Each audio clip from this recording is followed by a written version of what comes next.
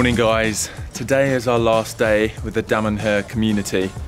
And the first thing we're going to do today, the first thing we're learning about is how they harness an energy called selfic energy to create these devices which can store the energy and have different purposes that they use them for um, I guess like protection and health purposes.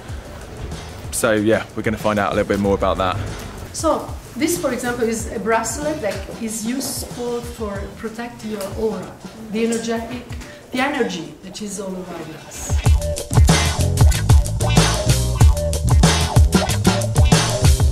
So guys, this is where they make the Selfic devices. So we just found out the founder Falco, who founded this whole community, he built this Selfica and he used it to harness cosmic energy from another dimension to transfer perfume and colour. Wow, this is a cool workshop. This is a statue of Falco. This is the founder of the community.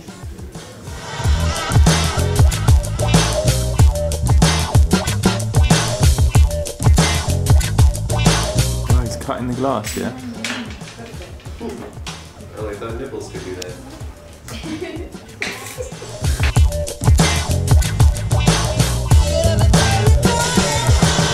So cool to be in a space where there's so much creativity. There's so many people making things and studio spaces and different mediums as well, whether it's like sculpture or cutting glass or making mosaics. Really cool. I like the idea of being in a, an artistic community. I feel like there's a, a process that happens when you can create and build things and make things like it's good, very therapeutic.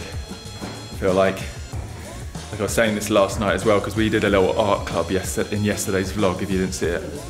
And I feel like it's something that I miss in my life when I'm not able to, you know, just create out of my imagination and do art and stuff. It's, uh, I think it's a very important thing. On to the next location. It's all a bit of a mystery. I don't know where we're going next.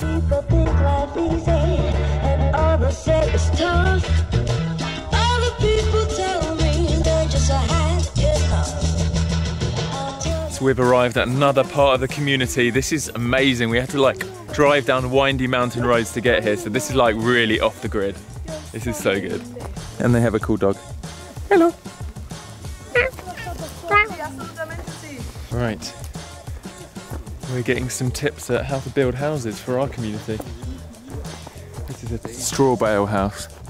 Behind this window shows what's behind this outer clay layer. This is what all the insulation for the walls is. This is so nice. And that's your bedroom up there. Yeah, the bedroom is up there. It's very, very silent because the straw has a very strong insulation, both thermically as well as um, acoustically.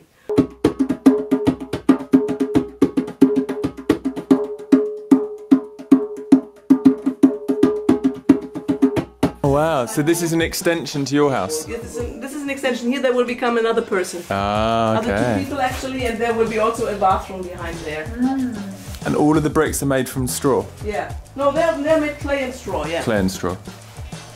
I like this this little log burner. That's, that's nice and warm.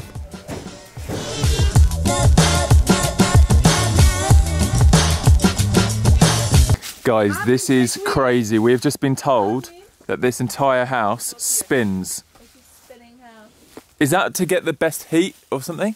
It spins with the sun, and it has solar panels on the roof, and it has photovoltaic on the roof, and it has a compost toilet inside.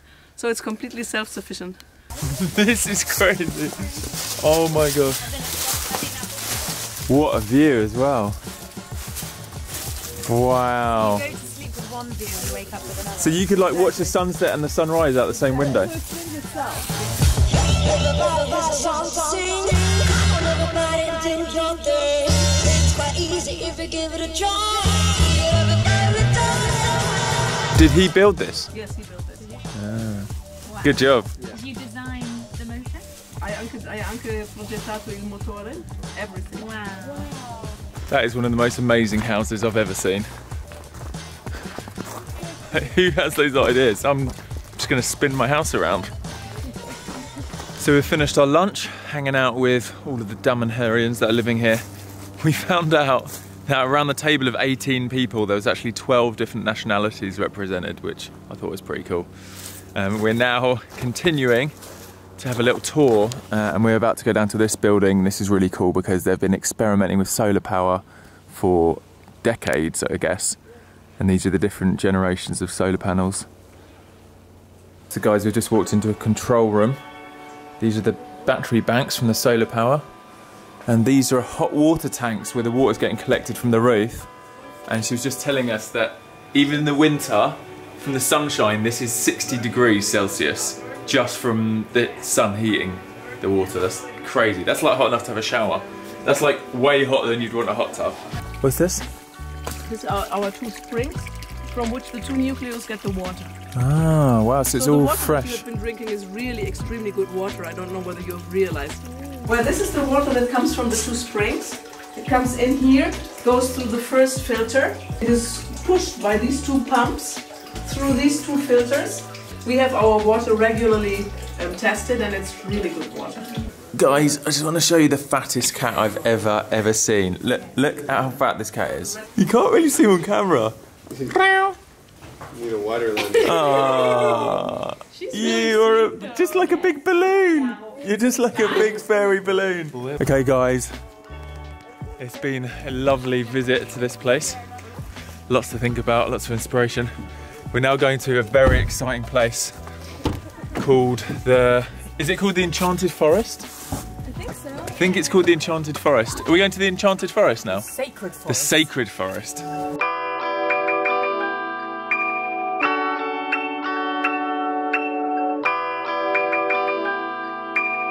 So we've arrived at the Temple of the Sacred Forest and we're getting shown around some of the things here. And this is the oldest tree at, they estimate like 150 years old and they've named it Diamantel. And they've built like a, a shrine and uh, a meditation circle around the tree. So guys, this is the singing plant room. You want to do that again? And they've set up electrodes to plants. know what you're talking about. And then it goes through a MIDI controller and you can hear the frequencies and melodies that the plant's are making.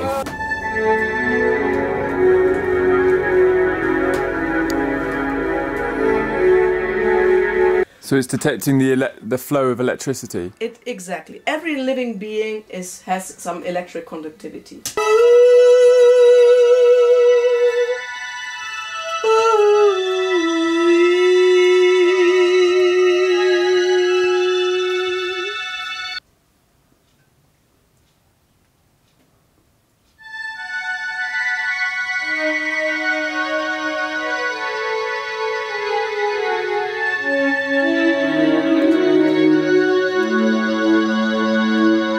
Back at the Temple of Humankind Yes. for a concert. Vai, vai, tranquilla.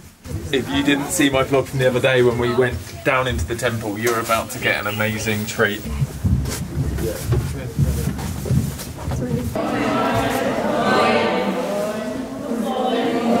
Hello. So this is the victory hall, and uh, we're just about to have a little um, a little show put on for us.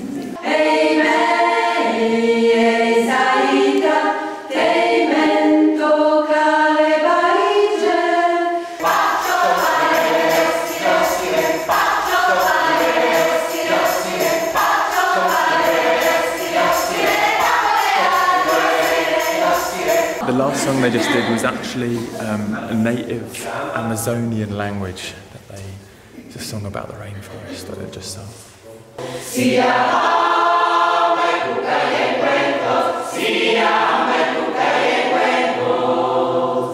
He's just saying that these next songs are from Native American origin.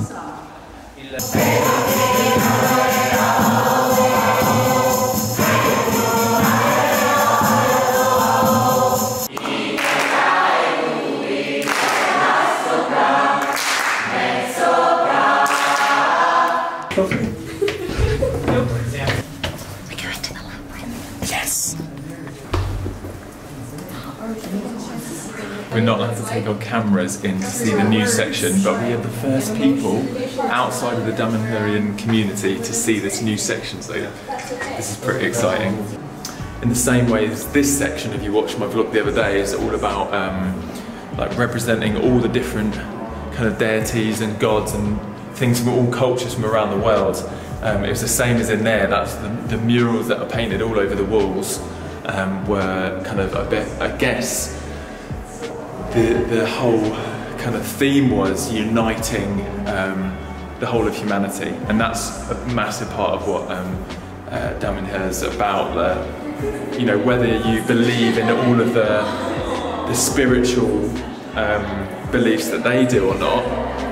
For me, it's almost that's not the most important thing. For me, it's it's what they stand for, and it's this whole thing of trying to unite people and build community. Look at all this emotion. Ah. Uh oh. yeah. it's time to go. Guys, so you know the other day Kristen hit 100k on her YouTube channel. Well, tonight is another special night because Nadine is about to hit. Wait, wait, wait, wait. She hit 300,000. 300,000. Yay! Ah. We're now saying our goodbyes. Bye. Bye. I thought I would kind of summarize our trip here and I guess reflect a little bit about the last few days because it's been, I'd say, quite overwhelming.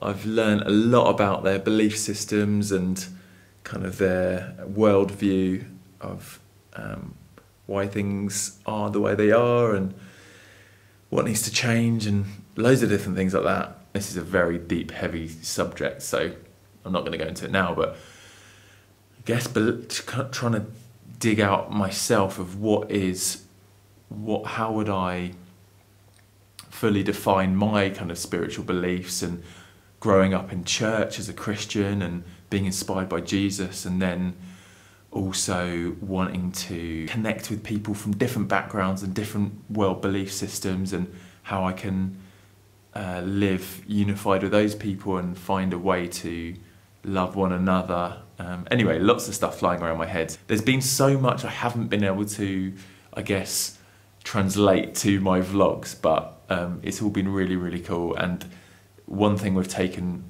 away from this weekend is really wanting to pursue, continue to pursue this vision to build tree a treehouse community.